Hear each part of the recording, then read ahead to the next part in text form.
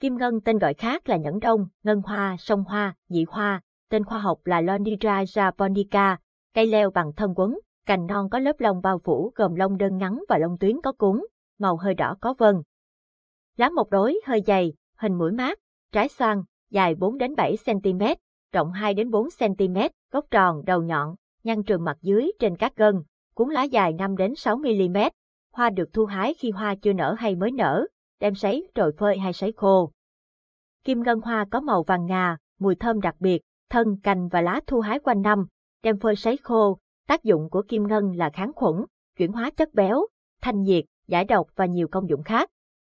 Pha cùng nước sôi 90 độ trở lên, mỗi 200ml ứng với 5 g rờ hoa, có thể uống nóng hoặc uống lạnh.